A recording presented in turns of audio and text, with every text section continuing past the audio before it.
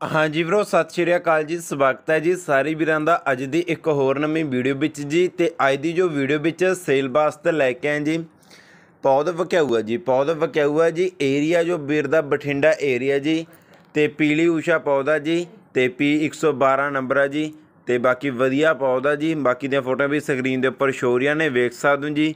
ਤੇ ਬਿਰਾਂ ਦਾ contact number ਹੈ ਜੋ ਵੀਡੀਓ ਦੇ ਸਕਰੀਨ ਦੇ ਉੱਪਰ ਸ਼ੋ ਹੈ ਜੀ ਕੰਟੈਕਟ ਕਰਕੇ ਜੀ ਪਨੀਰੀ ਖਰੀਦ ਸਕਦੇ ਹੋ। ਤੇ ਇਸੇ ਵੀਰ ਲਵੇ ਜੀ, ਮੱਕੀ ਬਕਿਆਊ ਹੈ ਜੀ, ਮੱਕੀ ਬਕਿਆਊ ਹੈ ਜੀ। ਬਾਕੀ ਤੁਸੀਂ ਵੀਡੀਓ ਦੇਖ ਸਕਦੇ ਹੋ ਜੀ। ਓਕੇ ਵੀਰ ਜੀ, ਧੰਨਵਾਦ ਬਾਈਨਰ ਦੀ 1844 ਮੱਕੀ ਹੈ ਬਾਈ ਜੀ।